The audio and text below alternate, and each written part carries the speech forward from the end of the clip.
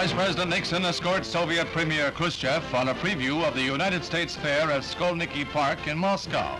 It's the official opening of the American Exposition, counterpart of the Soviet trade show in New York, and dedicated to showcasing the high standard of life in our country. But on this occasion, traditional diplomacy goes by the board, and the story of the fair itself is eclipsed by a crackling exchange between Nixon and Khrushchev, begun off camera and finished off before the American Ampex color videotape recorders. Every aspect of the Cold War and Soviet-American rivalry is argued in blunt and forthright terms.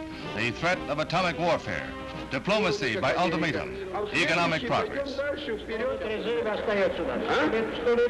Says Mr. K, the Soviet will overtake America and then wave bye-bye.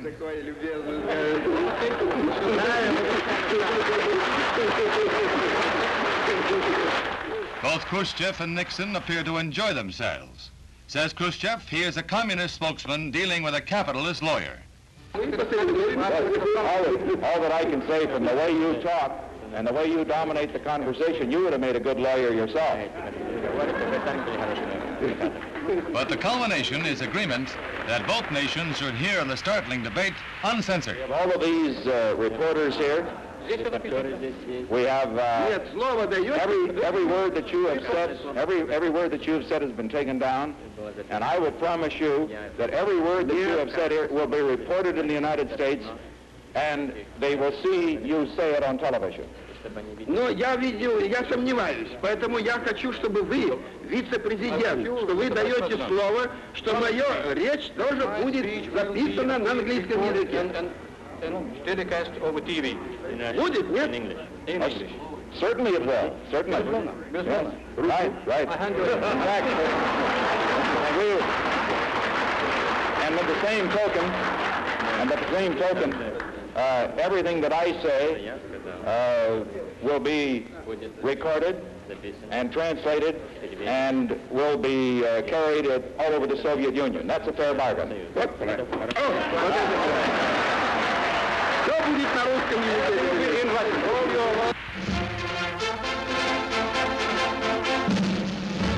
One million machete-wielding peasants jammed the square before Cuba's national capital in response to the call of Fidel Castro for a celebration of the sixth anniversary of his 26th of July revolutionary movement. It is perhaps the greatest mass rally ever staged in the Western Hemisphere, a telling demonstration of Castro's sway over the Cuban masses. Showing another aspect of his character, the unpredictable Castro dons a baseball uniform to pitch a full inning in a benefit game for his agrarian land reform fund. His new president, Dorticos, tosses the first ball and the game is on. Castro pitching is credited with striking out the three batters he faces. Could be. This one game where the ump really has to be careful. Viva Fidel!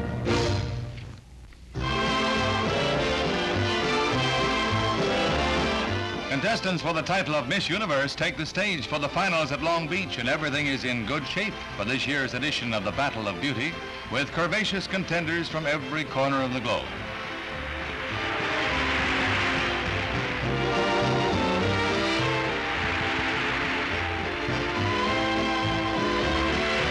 Miss Japan, Akiko Kojima, statuesque by Eastern standards with her just over five foot six height, measures up as a finalist. She's 37, 23, 38. Five potential winners, the Misses Norway, USA, Japan, England, and Brazil. Now it's up to the judges, and they tap Miss Japan, the first entry from the Orient ever to win the coveted crown. A rising beauty from the land of the rising sun.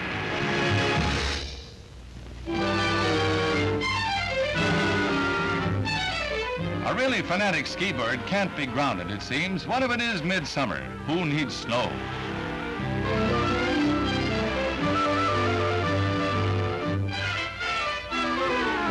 The place, Italy's Ponte di Legno, where history of a sort is made with a new plastic surfacing that's almost as good as the cold, white, old-fashioned stuff.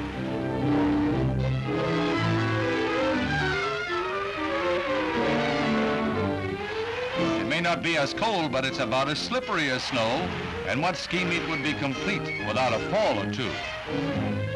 But mostly they're jumping in fine style. Considering the off-season setting, they're doing incredibly well. And of course, a 150-foot jump isn't bad any time of the year. The winner, Nilo Zandanel, thanks to the magic of plastic. Isn't progress grand?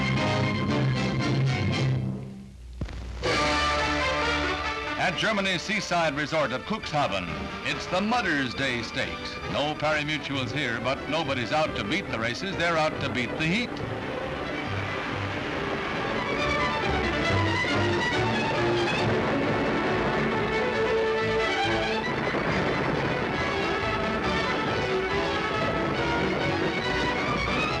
It was just too hot to get the people to the track, so they brought the track where the people were, cooling off in the briny. And if anyone complains there's something fishy about this, makes sense. After the first few furlongs, or should it be fathoms, horses and drivers are so mud splattered you can't tell who's ahead anyway.